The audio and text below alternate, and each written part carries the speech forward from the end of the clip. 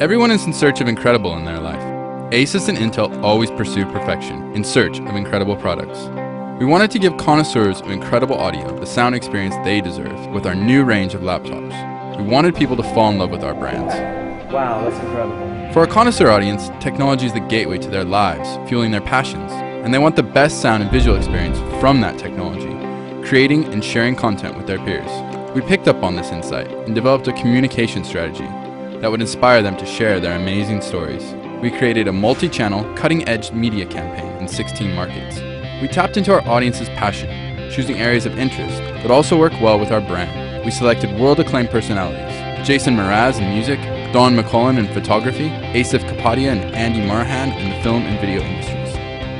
We use the best media technology to distribute incredible content that these personalities created for us. We seeded out an unbranded teaser video, which we knew would appeal to our connoisseur audience.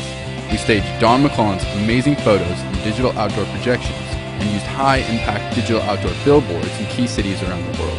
Unbranded QR codes allowed users to access our mobile site. We finally introduced our brand around incredible content. For example, Asif Kapadia's directed webisode series featuring Jason Mraz that was designed to inspire the search for incredible.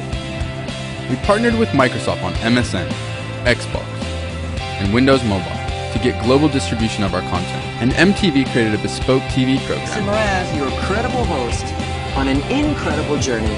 and promoted our search for Incredible via a global crowdsourcing network. We used Facebook and YouTube to achieve social scale and invited our connoisseur audience to engage with our laptops via lifestyle titles, outdoor, and digital media. The results were overwhelming. The winning story was made into a film, which premiered at a bespoke event during the Sundance Film Festival. We got them back. It's all good.